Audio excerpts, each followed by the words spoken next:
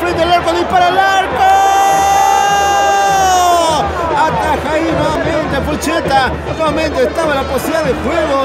Nuevamente insiste. Grande, grande la jugada de Daniel Juárez. Estaba la posibilidad entonces para el equipo de gimnasia.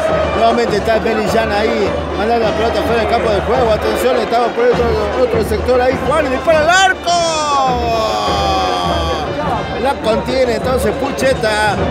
Atento Pucheta, eh, se está convirtiendo en la posibilidad. Ahí nuevamente se viene por la izquierda, mete el centro, dispara al arco. Atento, estuvo ahí Melillán para mandar la pelota fuera del campo de juego. Estaba la posibilidad para Gimnasia Grima de Jujuy. Nuevamente entonces ahora sí, insiste el equipo de Gimnasia. La toca entonces ahora sí Córdoba mete el centro. Nuevamente frente a la pelota para ejecutar este tiro libre. Se agazapa ahí el arquero de Giorgi. Dispara el arco, rebota en la defensa entonces. Y ahora se viene el contragolpe. Atención que se viene el contragolpe de Gimnasia Lima de Jujuy. Nuevamente entonces por el sector derecho. Nuevamente se viene Córdoba. Ahí está Córdoba. Vamos Córdoba, Córdoba, Córdoba, Córdoba, Córdoba. Dispara el arco.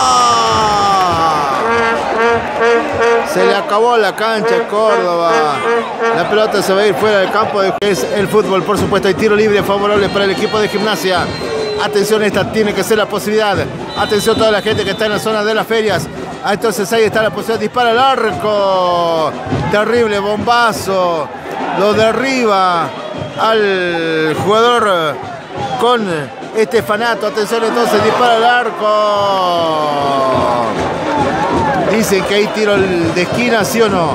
Sí, efectivamente tiro de esquina favorable para el equipo de Gimnasia Grima de Jujuy. Atención entonces, sigue entonces la posibilidad para el equipo de Gimnasia Grima de Jujuy. Puede abrir el marcador. Nuevamente entonces ahí está el Lobo.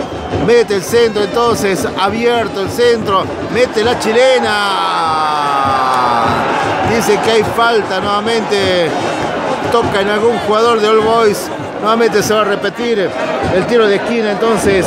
Ahí está frente a la pelota Gallego. Ahí está Gallego entonces con la casaca número 8. Mete el centro muy arriba, muy pasado.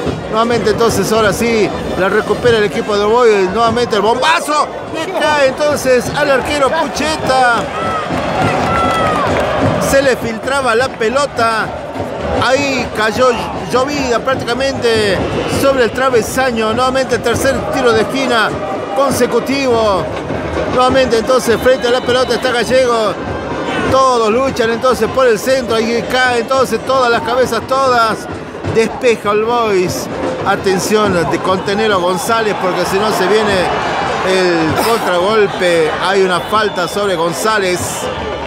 Cae y piden el cambio. ¿eh? Ahí está entonces.